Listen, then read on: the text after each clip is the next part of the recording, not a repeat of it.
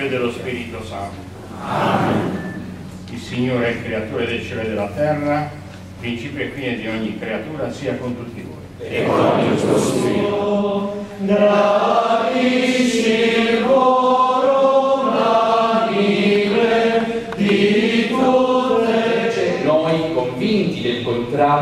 Prendiamo posizione e nel nostro convegno ecclesiale partiamo proprio da essa. Il convegno regionale si colloca entro il cammino di preparazione al quinto convegno ecclesiale nazionale che si celebrerà a Firenze dal 9 al 13 novembre dal titolo In Gesù Cristo il nuovo umanesimo, professor Fusco Girani. Conflitti tra lo sviluppo economico, la tutela del benessere della salute delle persone e la valorizzazione delle risorse paesaggistiche, culturali, l'organizzazione di investimenti e insieme ad altre la qualità dell'aria, dell'acqua, del suolo e quindi delle condizioni ambientali. Lucana, facciamo un applauso aggiuntivo perché siamo contenti di questo del CNR di Napoli e l'Istituto di Metodologie per l'Analisi Ambientale. Metodologia per l'analisi ambientale del CNR che mi ha autorizzata a condividere con questa platea quelle che sono, eh, quelle che sono state le attività di ricerca del CNR eh, IMA condotte nel periodo 2012. Per questa vostra presenza, una presenza non coreografica, perché la particolarità del nostro convegno è proprio questa. Noi oggi vogliamo offrire l'occasione per ascoltarci. Viene a volte anche penalizzato, ecco, ci mettiamo comunque con la stessa intensità, con la stessa c'è un'antica distinzione aristotelica tra appunto economia e crematistica.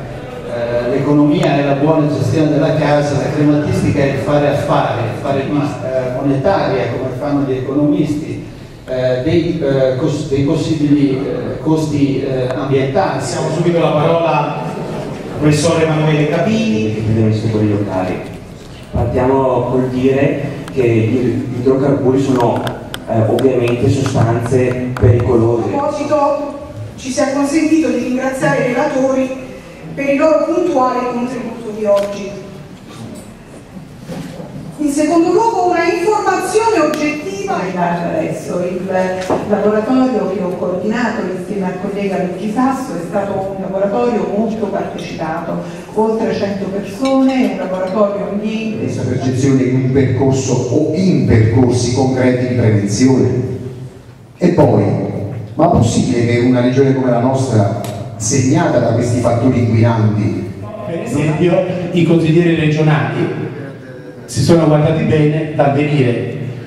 Eh, qualcuno ha fatto capire questo, che era pericoloso esporsi su un problema così attuale. Noi abbiamo inteso prepararci a questo convegno riflettendo su tre tematiche che secondo noi, secondo il comitato regionale, quei 50, eh, allora secondo noi sono tre ambiti fondamentali per la nostra regione quali sono questi tre ambiti? La bellezza, abbiamo fatto un convegno a Matera, dove abbiamo scritto fede e bellezza, la via, la via della bellezza, fede e arte, la via della bellezza. Poi quello di oggi, quello di oggi era per dire salute, ambiente e lavoro, quasi per dire la domanda profetica oggi, la domanda cui, a cui risponderò.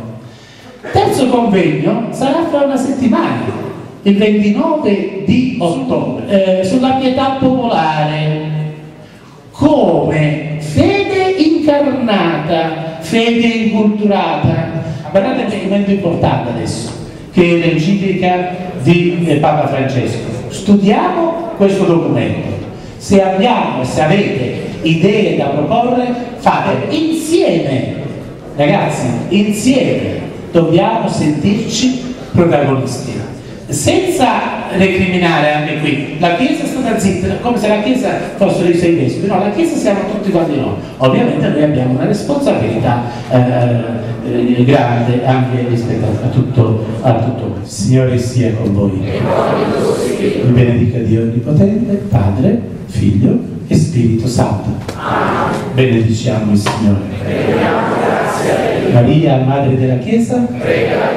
Facciamo l'applauso ai professori, gli diciamo grazie.